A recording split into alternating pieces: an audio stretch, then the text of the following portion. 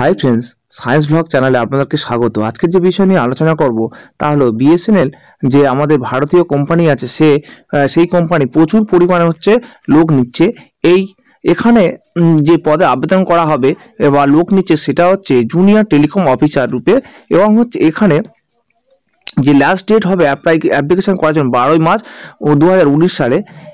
Number of post এখানে কি বলছে? Junior telecom junior telecom officer number of post বলছে একশো অষ্টানব্বই, অর্থাৎ একশো অষ্টানব্বইটা পদ আছে এবং সেটা অনেক পদ।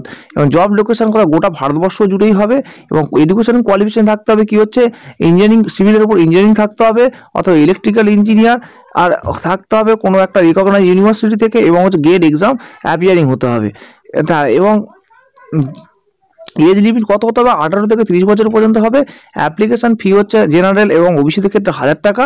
এসসি এসটিদের ক্ষেত্রে হচ্ছে পাঁচশো টাকা। সিলেকশন প্রসেস কীভাবে হবে? না রিটেন এবং ইন্টারভিউর মাধ্যমে অ্যাপ্লিকেশন শুরু হবে এগারোই ফেব্রুয়ারি দু হাজার উনিশ থেকে এবং হচ্ছে ক্লোজ হবে দু হাজার উনিশে। তো ফ্রেন্ডস আজ আজ ছিল আপনার আমার- এই পর্যন্ত। আপনারা যদি আজ ছিল এই পর্যন্ত ভিডিওটি আপনারা যদি পছন্দ করে থাকেন বা এই এই সম্বন্ধে কোনো তথ্য আপনাদের জানার থাকে, তারা অবশ্যই কমেন্ট করবেন এবং চ্যানেলটিকে সাবস্ক্রাইব করবেন।